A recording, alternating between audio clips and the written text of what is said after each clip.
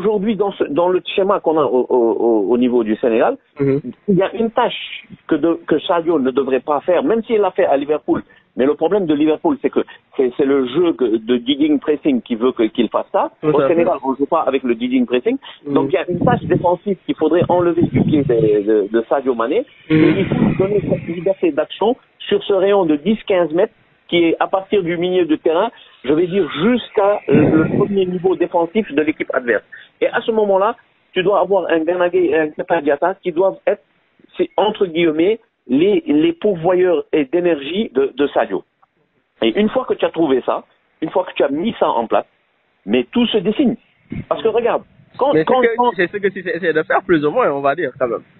ils essayent de le faire, mais ils, ils- ils ne, ils ne sont pas en train d'insister dessus. Et puis après, il faut se rendre compte aussi que tu n'as plus.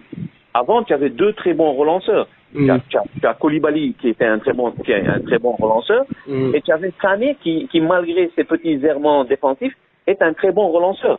Mais quand tu mets Cheikhou Kouyaté, euh, qui, qui n'a jamais été un relanceur, même quand il jouait au milieu, il avait plus euh, sur, quatre- sur 10 ballons qu'il jouait, il, il en jouait 8 derrière au lieu de les jouer devant Mm. euh, tu, tu, tu, tu es en train aussi de t'amoindrir euh, d'une force offensive euh, que les autres équipes ont et que tu n'as pas. Et que contre ces petites équipes-là, c'est ce qu'il te faut. Mm. Parce que des équipes qui jouent comme ça en, en bloc serré, bas, et qui te ferment le, euh, tout ce qu'il y a comme espace, bah, il faut les contourner. Il y a deux manières de les contourner. Soit tu dribbles, soit tu passes au-dessus d'eux. Mais Mhm. quand tu dribbles, c'est c'est que tu as les joueurs pour, et tu en as deux ou trois dans l'équipe qui peuvent le faire.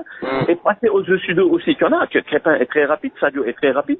Et il faut trouver Ismaël Assar dans son meilleur niveau qui va être très rapide. Donc à ce moment-là, on peut passer derrière les défenses adverses.